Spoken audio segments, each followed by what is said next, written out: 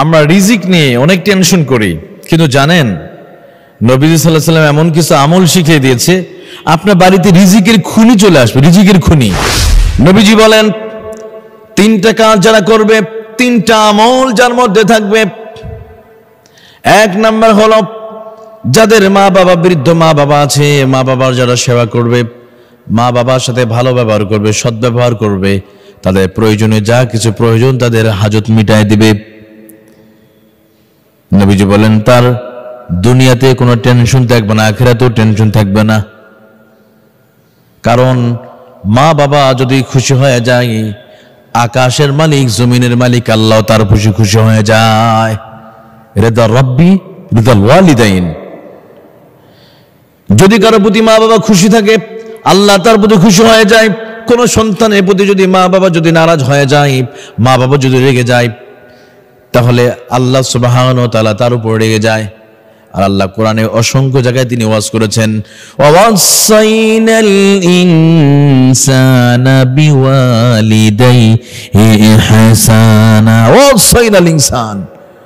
আল্লাহ বলেন, আমি তোমাদের জন্য ওসিয়ত করলাম, ওয়াজ করলাম।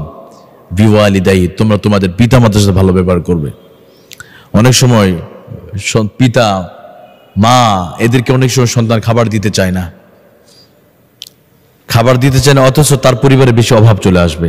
একদিন চলে আসবে অভাব। যেই জন্য আপনি খাবার দিচ্ছেন না, একটা দিন এই খাবারের জন্য আপনাকে হাত পাততে হবে। দ্বিতীয় নাম্বার, আপনার রিজিকের খুনি ঘরে চলে আসবে। দান সাদাকা করলে, যারা কিনা দান সাদাকা করে গরিব ও সাহিদের দান করে দেয়, আর জাকাত আসলে জাকাতের সময় হলে জাকাতের টাকা দিয়ে দেয়। জাকাতের টাকা দিয়ে দেয়, তাদের ফ্যামিলিতে কোনো বিপদ আসবে না, বালা মুসিবত আসবে না। কারণ নবীজি বলেন মিনাল বালায়ে। সদাকা, দান সদাকা বালা মুসিবত দূর করে দেয়। দান সদাকা যারা করবে, তার পরিবারে কোনো অভাব থাকবে না। দান সদাকা যারা করবে, তার ফ্যামিলিতে কোনো অভাব কোনোদিন থাকতে পারে না। দান সদকা যারা করবে, জাকাত যারা দিবে। অথচ অনেকেই দান সদকা করাটাকে মনে করে মনে বোঝা মনে করে। এই দান সদকা করাকে বোঝা মনে করে, না দান সদকা এটা করতে হবে। কোরআনের জন্য, মাহফিলের জন্য মাস্তিদের জন্য চেয়েছে অনেকে দিতে চায় না। অনেক সম্পদশালী, কিন্তু অনেক গরিবরা আবার দিতে পারে, আবার অনেক ধনীরা দিচ্ছে। কিন্তু আল্লাহ সবারটা নিবে না। আল্লাহ যাদেরকে ভালোবাসে, আল্লাহ তাদেরটাই নিবে। তৃতীয় নাম্বার হলো খুশু খজু শহীদ নামাজ। যারা পাঁচ শক্ত নামাজ আদায় করবে, তাদের কোনো অভাব থাকবে না। যারা খুশি, ইমাম ইবনুল কাইয়ুম আল জাউসি রহমাতুল্লাহ আলাই তার কিতাব খুশু খুজুর মধ্যে লিখেছেন যে খুশু খুজুর সহিত নামাজ আদায় করবে।